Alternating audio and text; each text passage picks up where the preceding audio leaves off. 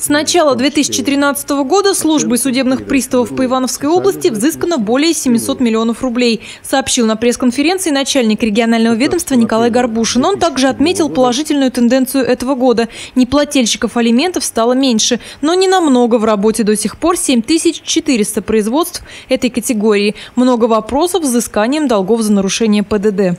Сложная ситуация у нас по взысканию штрафов. Объясняется это прежде всего тем, что, несмотря на их большое количество, в абсолютных цифрах исполнительных документов этой категории, суммы взыскания очень мелкие. То есть 500 рублей, 1000 рублей.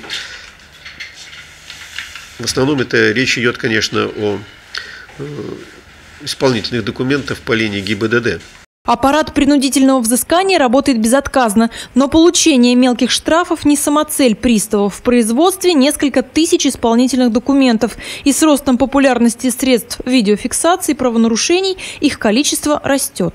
По-прежнему у нас остро стоит вопрос по должникам, которые про проплатили суммы долга, когда мы начинаем заниматься – выяснять и приглашать должника, естественно, он, находясь, в общем-то, возбужденном состоянии, э, приходит к нам, ну и все, что он думает о нас и о нашей, так сказать, власти, нам приходится выслушивать.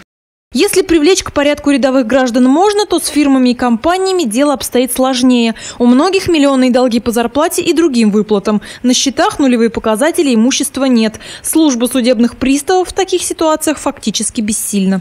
К сожалению, следует констатировать, что по большинству таких исполнительных производств должники, юридические лица находятся в стадии, в определенной стадии банкротства, то есть наблюдения, там, либо, так сказать, финансового оздоровления, ну и так далее.